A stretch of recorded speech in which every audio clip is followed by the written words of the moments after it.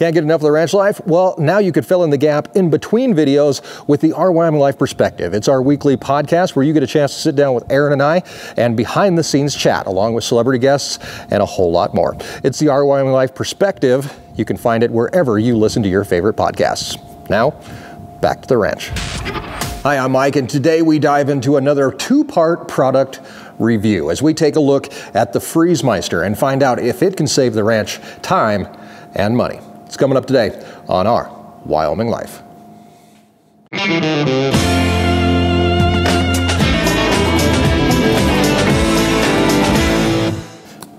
Hi there, welcome back, and thanks for joining us once again. If this is your first time here, be sure to subscribe and follow along as we continue to explore the ranch life and escape the ordinary.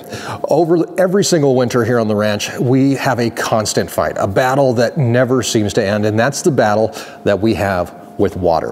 When you have very few days during the winter that actually rise above freezing, it's hard to keep water open. Uh, last year and the year before, we actually dealt with uh, some experiments on how to keep stock tanks open, whether what type of heaters work, whether we could use bubblers and all that kind of stuff. And you can check out the link right above me here uh, to check out some of those videos.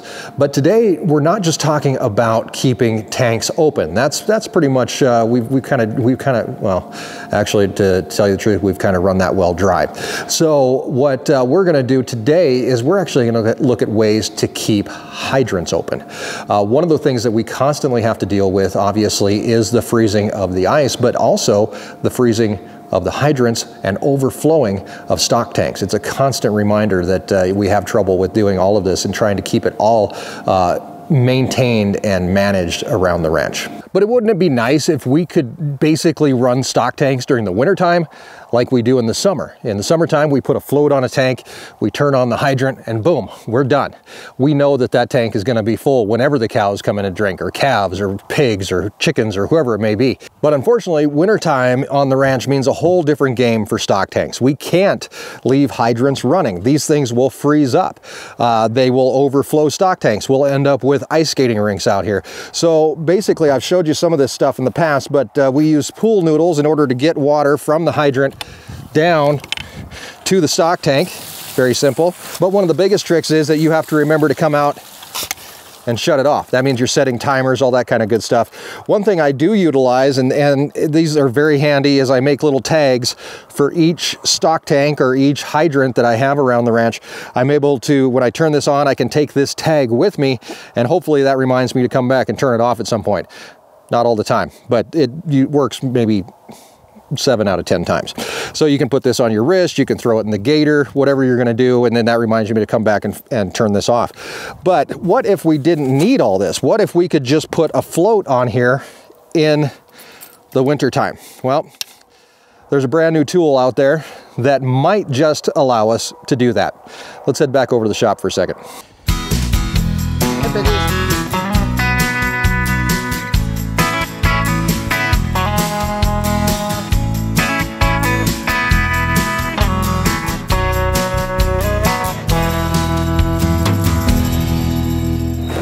That's where the freeze miser comes in. That is these little guys. Now I have to make this very clear that this is not a sponsored video. They have not paid us in any way to endorse their product. We are testing this purely on our own because if this does work, this could be a huge game changer uh, for winter water. And I'm hoping that it does. These we actually purchased from our local feed store. Uh, they're $31 a piece. I don't know if they're cheaper anywhere else. I don't know what the uh, manufacturer's suggested retail price is, but I know that they cost me $31 a piece. So let's take a look at this thing and see exactly what it does. So basically this is it. It's called the freeze miser. and what it has is a very small opening here at this end. Uh, what happens is as the temperature falls, and it says anywhere below 37 degrees, a small valve opens inside this and allows the dripping of water to start to happen. And what that does is keep anything in that water line from freezing. Now I've got a handy dandy little uh, booklet that I picked up from Thar's as well, our local feed store, that shows what this thing looks like on the inside. Let me show you this brochure here. So basically, what it, what, what it says is you can just put this on the on the uh, hydrant or wherever you're going to put it, and this little spring moves back and forth based on the the temperature.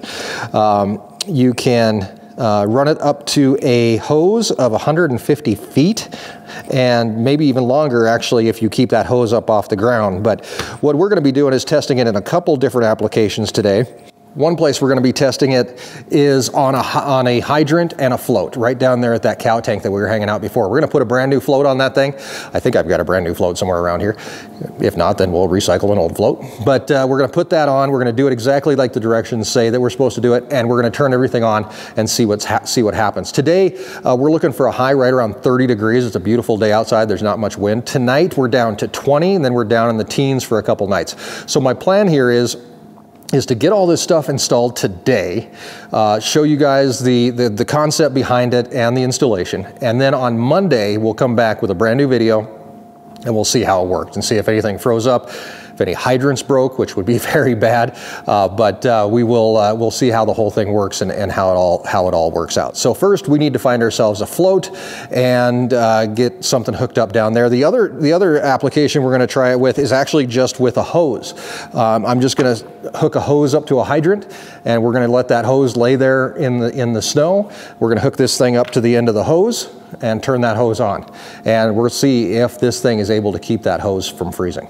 That will pretty much uh, give us a proof of concept. And if this works, this could save the ranch uh, not only money, because obviously water and pump time and everything else going on uh, with the water, it, that's money, that costs money, but also a lot of time, because I spend a lot of time running around making sure tanks are full and, and, and filling them up and shutting them off and all that kind of good stuff. With this thing, all you have to do is just do a visual inspection of each tank and make sure that it's full. Uh, you'll also see on those tanks that we have um, heaters in those tanks as well well. That's what keeps the tank thawed. I think that's pretty much uh, essential to this. You can't have frozen water. Uh, I think that would start to creep up the line. I'm not sure, but uh, it's something that we want to avoid. So we're definitely going to make sure that we have uh, heated water in all the tanks uh, where we use these as well. So found a float, and what we're going to do is some quick assembly here in the shop just to make things a little bit easier. But um, we're going to assemble the entire float assembly the way it's supposed to be according to the, uh, the website and the manual. So we start out with a float, not brand new, this is a used one, but it still should work. And then what we're gonna do on this float is we're actually gonna put a Y. Why? Well, I'll show you. This Y is essential to making sure everything works. So that's pretty dang tight. Both of our ends of the Y are open. And what we're gonna do is we're gonna take our freeze miser and attach it, hand tighten it, right there, okay? So now I can put my bracket back on. This is the hanger that you use to attach it to the stock tank. So we've got that all set up. Uh, one of the big things that the book does talk about is that you have to have the freeze miser is either pointing down or horizontal, and that's so that you have gravity to help drip this out, obviously, which makes a lot of sense. Um, so you can't have it facing up or else it's obviously not gonna work. So we're gonna grab a hose really quick and get it hooked up onto here and then ready to go into our hydrant, and then we'll head out to that tank.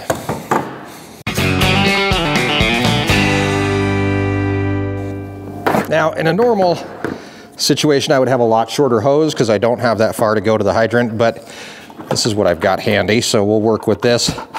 And if it works, I'll probably end up replacing the hose with something a lot shorter. There we go. We're ready to go from... Actually, this hose may work pretty good. I'll show you why. Okay, let's head out there. Okay, so here we are right back out at our, our uh, main cow stock tank. We're gonna hook this float up and hopefully be able to see exactly how this thing works. I don't know if it's cold enough. Uh, they did say, you know, that anytime below 37 degrees, it will start dripping right away. So I think that's actually going to work to our advantage. Um, the reason I said that a, a, longer hose might actually be a good thing on this because this tank is not exactly level. This portion of the tank is actually sitting a little bit lower and I was kind of thinking maybe the hose could come around and that way I've got the hydrant set up, or not the hydrant, but the float set up on the lowest part of the tank. So I'm at less risk for uh, um, overflowing.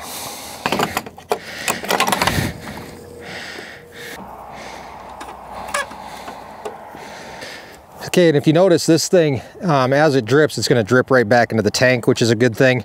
Uh, it won't create a an ice skating rink or any type of place where a cow can slip on the uh, on the ice. I'm to run this temporary hose around, try to get it kind of up as much as possible out of the cow's way where they're not going to get tangled up in it, and then hook it up. So if this works, um, you know, it doesn't seem like it's that much to get excited about, but if this actually works, we could we could actually plumb tanks in using these little things um, and be able to keep uh, everything working smooth all winter long. All right, we turn on our water.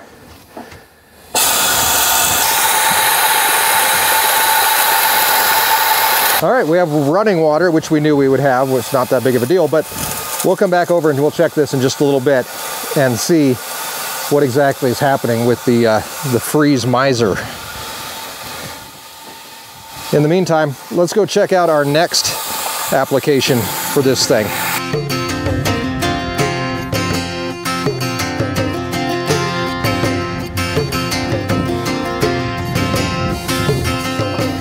All right, so we have about 50 feet of hose here.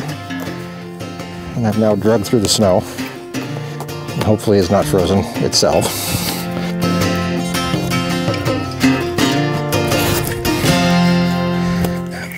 First off, I'm gonna go ahead and hook this up, make sure that there's no snow or ice in this hose to start with, and that we're free flowing. Where's the other end? Oh, there it is. Come on, water.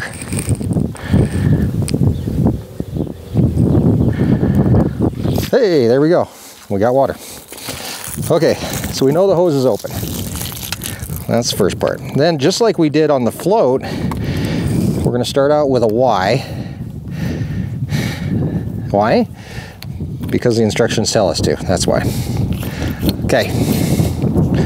On goes the Y on one side of the Y, we're going to put on our freeze miser.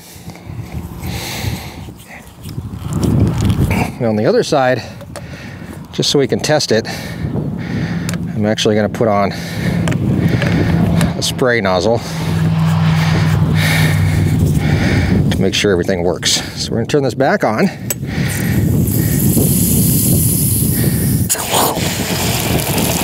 Oh, the spray nozzle's broken, but we have water anyway. We have a leak of some sort, maybe.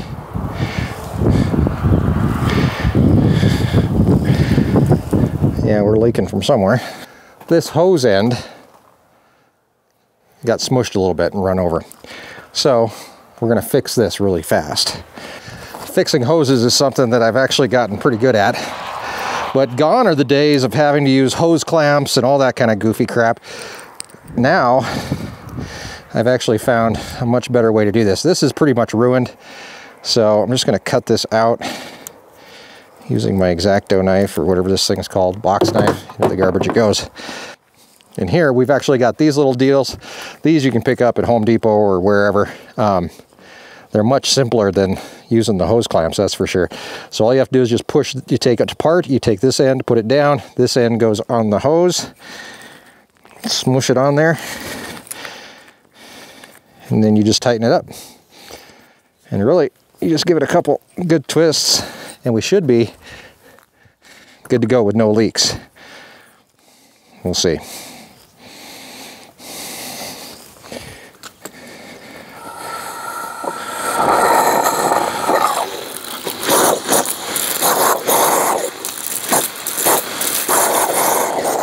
Oh, we got water.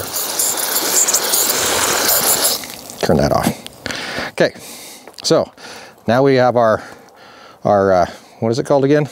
Freeze miser on this end and our nozzle on this end to be able to test. What I am going to do is I'm going to kind of wrap this hose up just a little bit. It's not that long. It's, so it's maybe a 100 foot hose, maybe. Um, but I am going to wrap it up because like I said before, I want to make sure that I keep this part facing down. So I'm going to just hang it over something around here.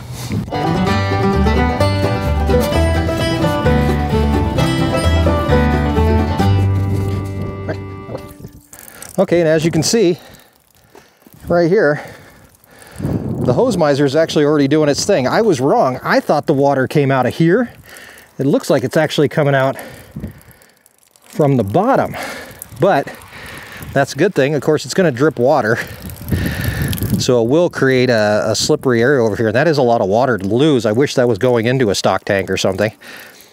But for the purpose of our testing, I guess that'll work. Let's head down to the stock tank that we just set up and see if it's doing the same thing. And uh, if it is, then we know that one's working too.